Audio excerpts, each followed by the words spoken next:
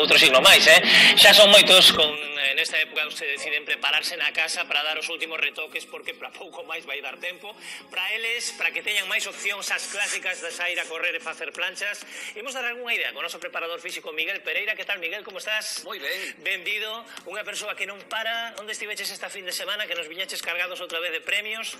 Pois este fin de semana fun de paseo por Valladolid. De paseo militar. De paseo militar. Por Valladolid que estiveches nunha competición aló, como foi? Nunha competición de culturismo natural. Sí. Eh, o ministro a Dori, que xa falamos dela sí, hai un sí, par de que programas. Que un día aquí, eh? eh que quedou terceira, por certo. Sí, eh, a Dori. Eh, e nada, eu eh, competín en dúas categorías un tanto opostas a unha da outra, unha é culturismo e outra é máis eh, chamase men física, un corpo máis estilizado, sí, son bastante sí, sí, antagónicas, sí, pero bueno, ao final foi ben nas dúas. Nas dúas. Foiche, foiche ben nas dúas. Perdidos o río. Bueno, aquí están, eh, estas máscaras son en realidade son os premios, non? Son os trofeos. Son os premios. Son vou coller unha para que vexa a xente, porque a verdade que son espectaculares, eh? Como decías ti, é unha máscara que vou quitar a gafa. Están moi chulos. Mira, Esta a o gremio, está chulísimo. E isto porque foi, por? Pois esa que des aí foi Open polo de, Warriors. polo de Men's Physique, sí. sí. no Open Nacional de Warriors. Sí. Eh, nada, ese foi do terceiro posto. Está no segundo de, de culturismo. Aí está o noso Miguel, pois xa, ven.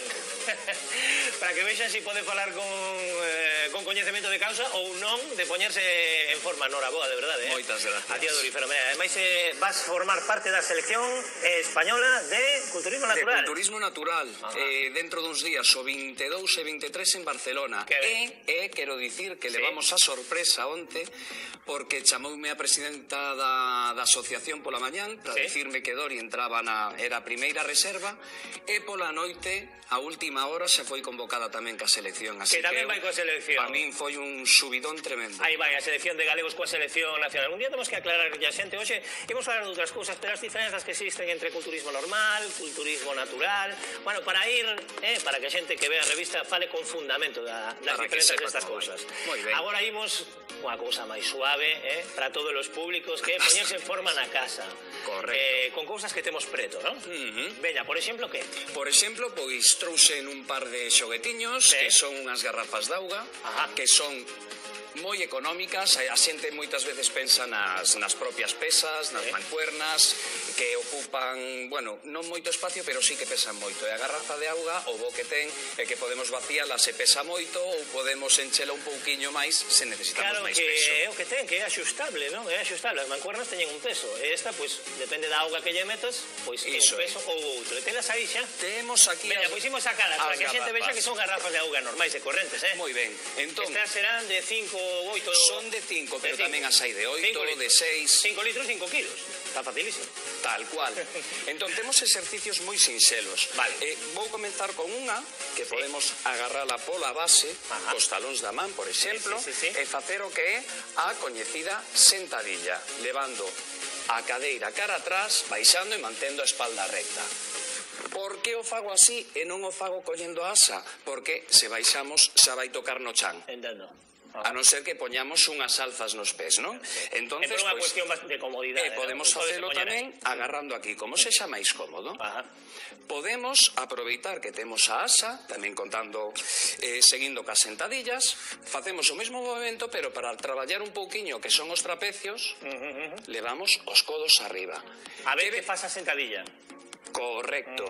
E ventaxa ten este tipo de exercicios tamén, por exemplo, a hora da queima de calorías, que mentras fago a sentadilla, traballo uns músculos, pero aquí no mesmo tempo estaría a traballar máis músculos á vez. Ajá. Entón, é unha idea para facer unha quema calórica máis eficiente. É dicir que esa, cando falades de aillar músculos, neste caso, como hai varios músculos implicados, non? o que face un traballo aeróbico un pouquiño sí, máis, sí, un pouquiño, un pouquiño máis, máis funcional, porque nos cando movemos o corpo vamos movendo todo a vez e coordinado. Entón sempre vai vai facendo unha axuda. Outro exercicio ademais das sentadillas que é moi interesante é o chamado e coñecido como peso morto. Entón, aquí podemos agarrar as dúas garrafas, importante ter os ombros atrás e o que hai que facer é levar a cadeira, a cadeira cara atrás e a espalda cara adiante. De tal maneira que deixemos a espalda recta. Un erro moi típico é curva a espalda. Un erro que pode traer consecuencias, home, poden ir a graves, pero que poden mantelos na cama durante unha semana. Eh. que temos iso, non? Moita seguridade neste movimento. Hai que estar rectos ou? Correcto. O Manter rectos da, e a cadeira mantela arriba para que poda fortalecer ben a espalda. Este é un exercicio fantástico para fortalecer a zona lumbar. Moita xente ten problemas nos lumbares por, sí. por falta de forza, pero se se fai mal o exercicio pode carrear máis problemas. Eh, eh me, noutro día teño pensado en ensinar un truco moi bo para correxir esta postura, porque non todo o mundo consegue facer facer Para corregir a postura para poder facer estes exercicios. Correcto. Logo temos outro tipo de exercicios máis dinámicos uh -huh vouno facer moi, moi suaveciño, porque estas asas, sí. vale, non veñen para facer exercicio. entón, eu recomendo que na casa que sí. se poña unha boa cinta. Eh, Pero eh, eh temos... Bueno, que non pasa nada, que se pode poñer unha, unha, unha cinta. Unha que non nos facemos porque non se nos enche todo de agua. Tal vale, cual. Pero bueno, eh, o exercicio pode se facer, sí, como pois sería? Son o que son os balanceos. Ala, como se si fora unha pesa rusa. caer aquí unha pesa rusa. Sí, sí. Claro, o que digo, porque senón ou te empapas de auga ou te cargas o veciño. Cámara. Bueno, este é un dos exercicios favoritos de última hora, que decir, últimamente todo o mundo fai Está moi de moda. O que falábamos antes, exercicio funcional. Aquí, además de traballar a coordinación, traballamos as pernas, glúteos, espalda, traballamos os ombros, entón a queima calórica aumenta, o estado de forma mellora máis rápido, xa. é un exercicio que fai... fai claro, por eso se chama exercicio funcional, porque é para o día a día. É para, para os movimentos que facemos todos os claro días. Claro que sí. Mm. E eh, quero ensinar tamén un exercicio que é un traballo abdominal. Ajá. Para eso ten que ser pesado esto. E o traballo abdominal simplemente isto. E ten que pesar. Podemos camiñar, podemos xa, xa, subir escaleras. Perdido. Aquí, Atala quieto. E se, se isto pesa, vou poñer un, un caso, porque este igual, bueno, non sinto moito peso, pero imos poñer é o exemplo dunha bombona de butano. Que se a cargamos, estamos aquí. Sí. Se enderezamos, Se tocamos no lado oposto, imos notar como o abdominal está tenso.